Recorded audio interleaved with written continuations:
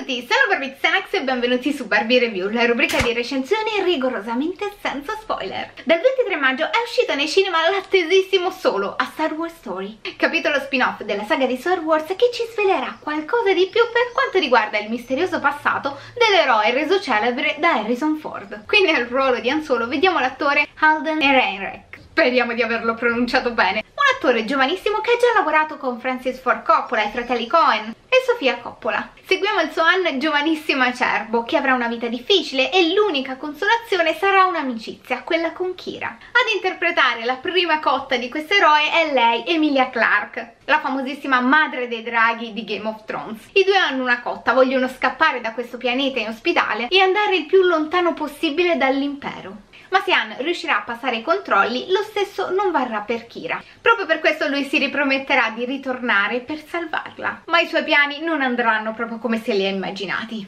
Inoltre il film svelerà alcuni retroscena come quelli dell'amicizia tra Han e Chube, così come il suo rapporto con Lando e soprattutto il vero amore di Han Solo, sto parlando del Millennium Falcon. Il cast vanta molti attori amati e anche apprezzati a livello critico come Paul Bettany, oppure ancora Woody Harrelson, ma nel cast c'è anche Don Donald Clover. Sicuramente recentemente avrete visto un suo video musicale perché oltre alla carriera di attore ha anche una carriera musicale sotto il nome di Childish Gambino e recentemente il suo video musicale This is America ha fatto letteralmente il giro del web. Come accade per ogni film di Star Wars il pubblico si divide e non ci sono mezze misure tra chi sostiene che sia il miglior film di Star Wars mai visto e chi sostiene che questo film sia la rovina dei propri sogni d'infanzia. Avete visto questo film? Da che parte siete? Siete nel mezzo? fatemelo sapere con un commento. Ma iniziamo a parlare un pochino di questo film, che ha avuto una storia un po' travagliata e un po' si intravede guardandolo. I primi registi scelti sono stati licenziati e al loro posto è stato chiamato Ron Howard per rendere, così si vocifera, il film più normale. Lui quando si tratta di creare un film per famiglie per ragazzi è perfetto e diciamo che solo parla benissimo ad un pubblico di giovanissimi, strizzando ogni tanto l'occhio anche ai fan, facendo delle battute oppure ancora facendo delle citazioni. Il film ha diciamo due anime, punta tantissimo sul lato spettacolare ma coltiva anche un certo lato comico diciamo così il film stesso è poco serioso non si prende troppo sul serio e il personaggio stesso di Han Solo è un po' più tranquillone rispetto all'Han Solo che conosciamo secondo me il taglio del nuovo film è un po' a metà tra la trilogia prequel e la trilogia originale prendendo secondo me la leggerezza della prima prediligendo gli effetti speciali rispetto a quelli digitali per quanto riguarda la trilogia originale negli episodi recenti la saga di Star Wars è stata fortemente criticata per aver osato un po' troppo secondo alcuni fan. Questo episodio è molto diverso perché infatti di rischi se ne prendono abbastanza pochi e può essere un'arma a doppio taglio. Il film infatti si svolge in un mondo fortemente controllato con colpi di scena non sempre tali.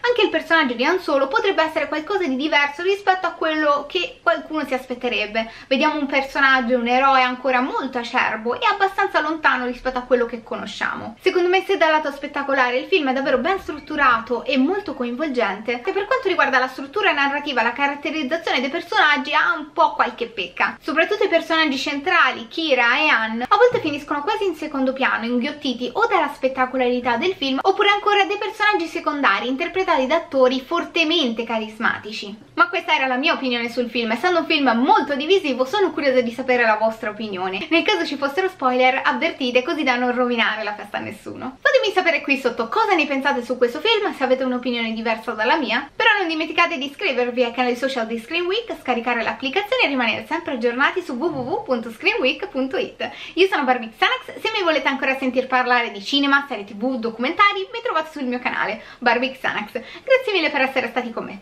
Ciao!